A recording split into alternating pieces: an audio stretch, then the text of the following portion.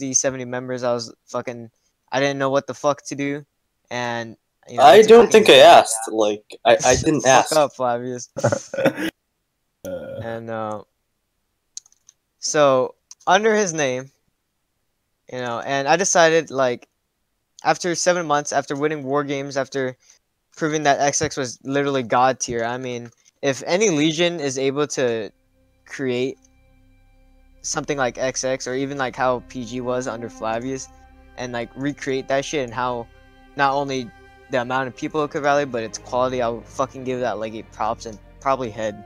I'd probably suck that legate. What? Probably head. Yo, who's recording right now? Who's recording? Uh, no, no, oh, no, no, no, no, we can uh, take that out of context. uh, yeah, th- that was taken out of context. Uh, that's slander. Cut that out. Cut that out. So, yeah, I mean, I'm, I'm, hopefully, other people around me and my past legates could probably be proud